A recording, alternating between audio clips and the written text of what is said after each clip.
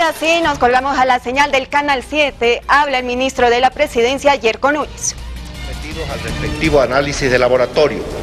Por otra parte, se establecerá el aislamiento preventivo a quienes sean considerados contactos de eventuales casos positivos. El aislamiento preventivo implicará el traslado a su domicilio y el monitoreo estricto diario durante 14 días a cargo de los profesionales en salud. Asimismo, repudiamos enérgicamente actos de personas que están dificultando el transporte de estos compatriotas y la agresión a los policías que los acompañan, pues ya fueron sometidos a los protocolos internacionales. Con la firmeza que caracteriza a nuestro gobierno, le exigimos a esos grupos de personas que no tienen solidaridad con nuestros compatriotas que dejen a las instancias gubernamentales desarrollar el trabajo de control sanitario.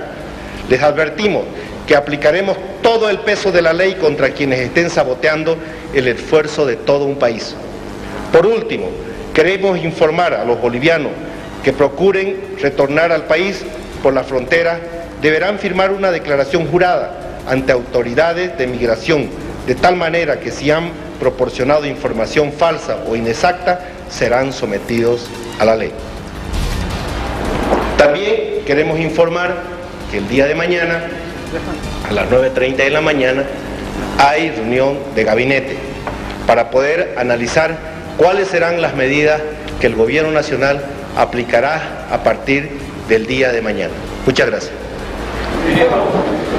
Bueno, estas fueron las palabras. La presidencia que ha confirmado una reunión de gabinete el día de mañana para nuevas medidas. Entre tanto, se instruye la cuarentena para los repatriados en distintos puntos del país.